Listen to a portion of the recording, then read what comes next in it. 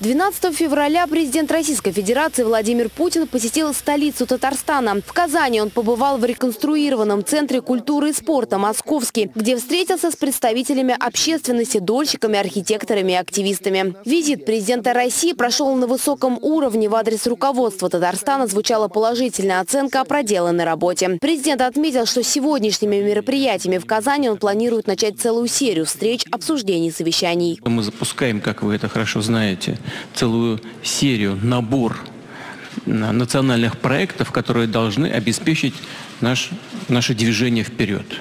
Движение России, движение страны по ключевым направлениям развития. На встрече обсудили вопросы реализации национального проекта «Жилье и городская среда». Напомним, что ректор Казанского федерального университета Ильшат Гафуров является сопредседателем регионального отделения Общероссийского народного фронта. В начале встречи ректор КФУ Ильшат Гафуров поблагодарил Владимира Путина за успешное развитие национальных проектов в сфере образования, науки, медицины и других. Ильшат Гафуров озвучил волнующий многих вопрос, связанный с системой сбора и утилизации отходов. Он отметил, что платеж за сбор мусора увеличился, но люди не понимают, с чем это связано. Выходим на улицу и видим, что места сбора мусора, в общем-то, какими были, такими и остались.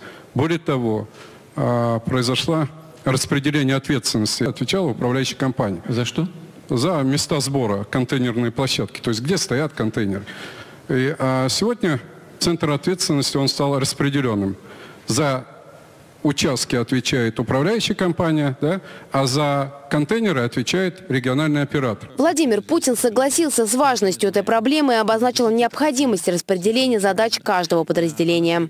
И нужно определить, распределить ответственность между муниципалитетами, управляющими компаниями и региональными операторами. Никогда не было у нас, э, не создавалось никакой э, индустрии переработки. Никогда. И нигде такого в стране не было. В Советском Союзе не было никогда. Просто сваливали и все. В лучшем случае там что-то, обваловку какую-то делали. Вот и вся работа. А в современных условиях это невозможно, и мусор разный появился. В рамках рабочей поездки президент России провел в Иннополисе выездное заседание Президиума Госсовета Российской Федерации по улучшению жилищных условий населения и формированию благоприятной городской среды. Были затронуты вопросы развития рынка жилья, финансирования жилищного строительства, развития инженерной, транспортной и социальной инфраструктуры и многое другое. Состоялась и отдельная встреча главы Татарстана с президентом России, на которой Рустам Минниханов рассказал Владимиру Путину о развитии региона. Он обратил внимание главы государства на успехи нефтеперерабатывающей отрасли региона и заявил об успехах в развитии КАМАЗа и авиационной промышленности. А Владимир Путин отметил рост несырьевого производства в Татарстане. Особое внимание было уделено подготовке Татарстана к принятию чемпионата мира по рабочим профессиям WorldSkills. Рустам Минниханов пригласил президента России на открытие мероприятия, которое состоится 22 августа. Нужно отметить, что визит Владимира Путина в Казань прошел очень успешно и плодотворно. Анна Глазунова, Univer News.